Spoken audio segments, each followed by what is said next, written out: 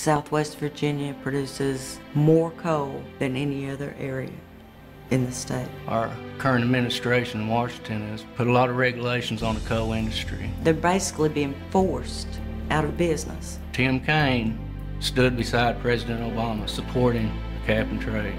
Tim Kaine wants to be President Obama's senator, not Virginia's. George Allen will fight for us. George Allen's for us. I'm George Allen, and I approve this message.